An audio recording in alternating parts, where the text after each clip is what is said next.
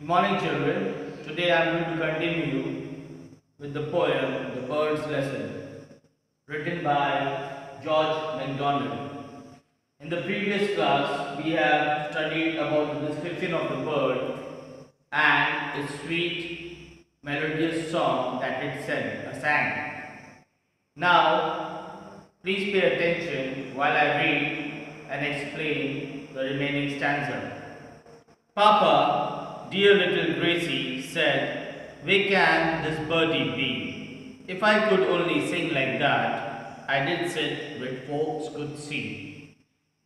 Now, when, Papa, uh, when Gracie heard the sweet, melodious song of the bird while she was passing by from that place with her father, she asked her father, Where can this bird be?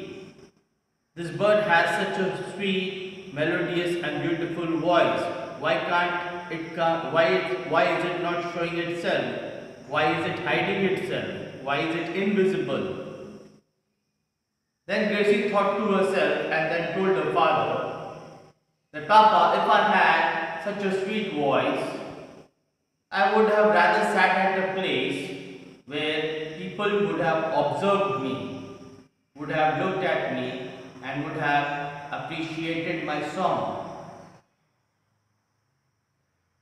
I hope my little girl will learn a lesson from the bird and try to do what good that uh, what good she can, not to be seen or heard. And meanwhile, at that time, her father, Gracie's father, explains and tells Gracie, oh, gives her a lesson of that bird she was a small child and she was growing up. So her father wanted to teach her a lesson from that bird. Now the lesson was that that small bird was entertaining people but without being seen. It was passer, all the passers-by were going, were passing by, but it was entertaining the, as they heard the sweet sound, sweet and melodious tune of that bird, they started searching for that bird. They started observing for that bird. Where is that bird? Where is it hidden? What is that sweet tune coming from? From where, where is it coming from? But somewhat if we see that that bird was entertaining all the passers-by with his sweet voice. Similarly, our deeds and action or whatever we do should also, if we help someone,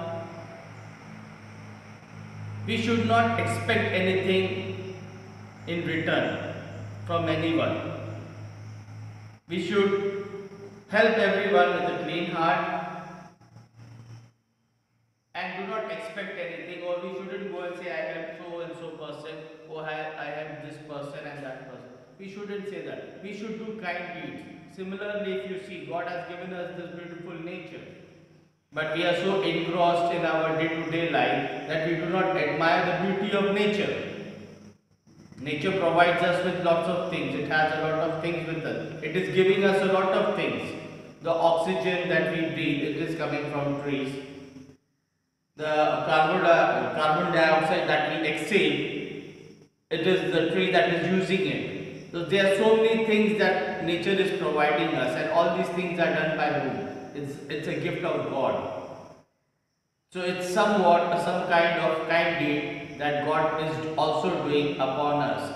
So the bird was singing praise to God for whatever uh, whatever deeds she was doing. Similarly, her father told Gracie, so next uh, whenever you do any kind deeds, it's not necessary that you need to be noticed or you need to be heard. So children, I will explain the remaining poem in the next chapter, in the next class. Until then, thank you.